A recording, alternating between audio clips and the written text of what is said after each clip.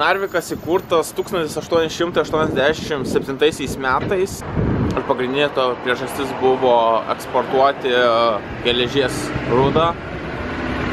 Ir štai įlanka yra neužšalanti dėl ateinančios šiltos rovės. O 40 metais per antrą pasaulinį karą Narvikas buvo užimtas nacių balandžio mėnesį, bet jau birželio mėnesį norvegai, prancūzai, lenkai bei, bei anglai atkovojo šitą miestą, šitą kraštą. Tai čia nais labai daug pilna visokių skulptūrų ir panašiai. Ir yra, kaip supratau, karo muziejus. Bet aš į jį dėja neužsuksiu, nes jisai atsidarys dar tik vėliau. O aš nenoriu laukti labai jau čia nais. Tai Tik taip apsidariau po miestą. Įdomus miestas. Gražus tiesą sakant, toksai, nu, jaučiasi ostamestis. Ir judu aš toliau.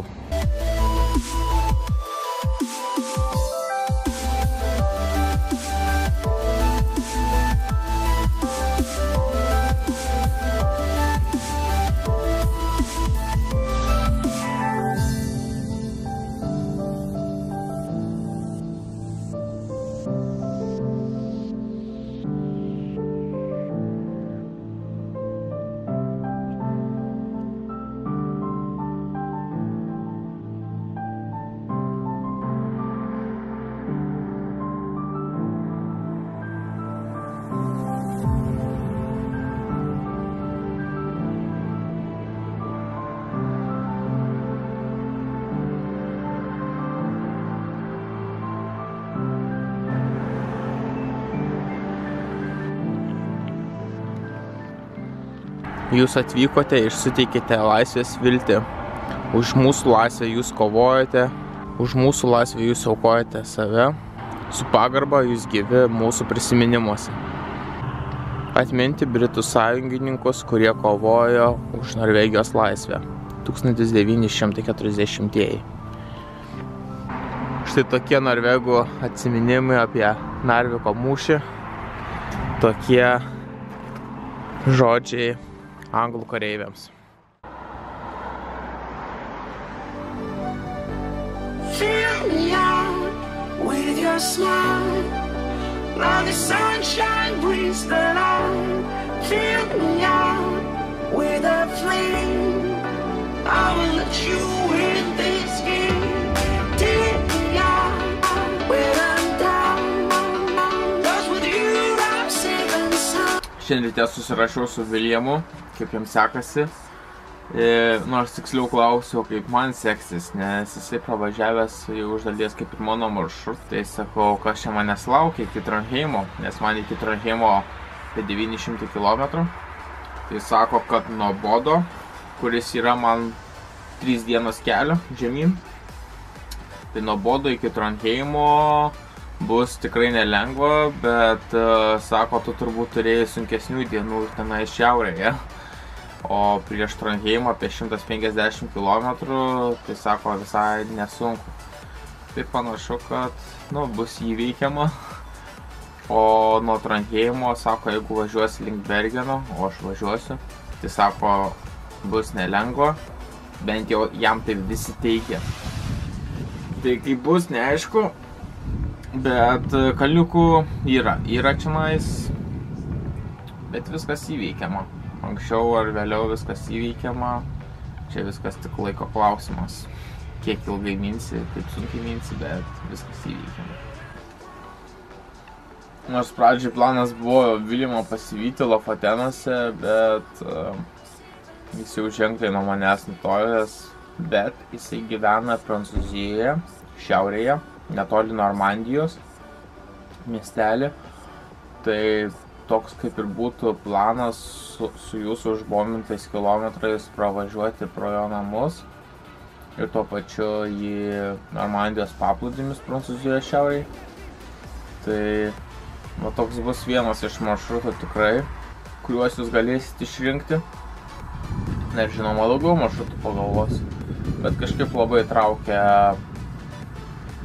Belgija, Olandija, Prancūzija, žodžiu, va ta šiaurioji Europos pusė. Ir žinoma, jinai lygi.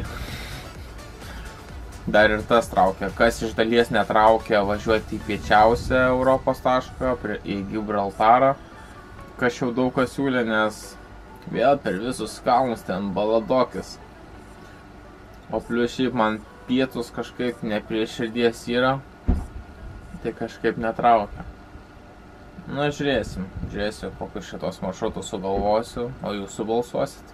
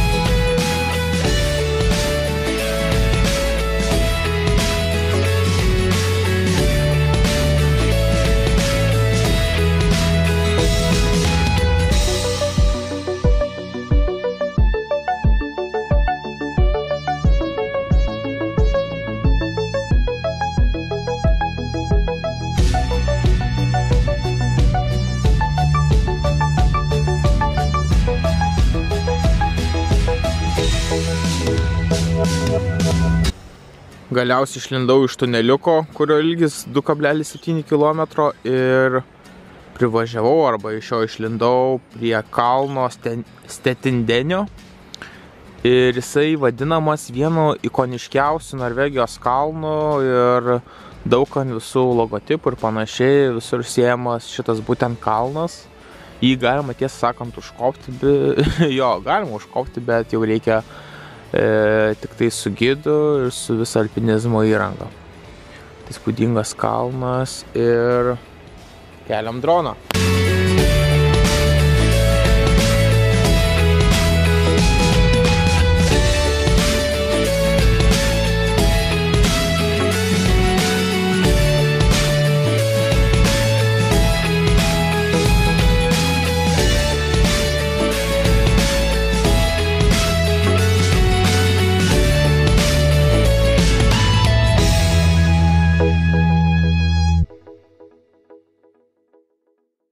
Tai apsistojau šitam tokiam palapinių miestelį.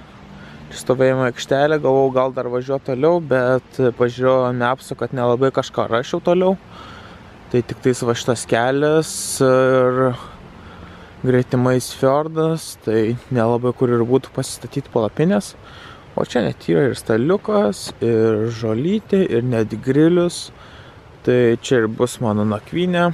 Plius nenorėjau užtemti gumos, nes eisiu dabar montuoti vlogą. Bet kalnas šimtas balų, tikrai spūdingas. Tokia smailė, visiška. Ne veltui, ikoninis. Ir šiandien nuvažiavau 85 km. Visai neblogai, turint omeny, kad dabar dar tik pusė aštuonių. Nors planavau iki septynių važiuoti, bet čia gausi trys iš eilės tuneliai ir nebuvo tarp jų kažkur sustoti. Ir aš net žemėlapį užsižymėjau va šitą kalną ir iš kur geriausiai matosi jisai. Tai jisai grinai geriausiai matosi va štai nuo šito kelio gal truputį toliau.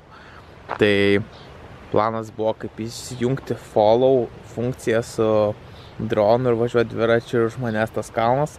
Bet kaip matė dabar iš drono kadro, kad net viršūnės nesimato dron, iš drono, nes droną pakėliau ir tai 250 metrų ir vis tiek dar iki viršūnėlės trūko, nes E, kameros aš nenaudoju, kad keltųsi viršų, jinai tik tais horizontalę laiko arba žemyn.